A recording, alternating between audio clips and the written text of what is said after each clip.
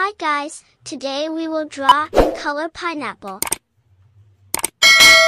Follow my steps.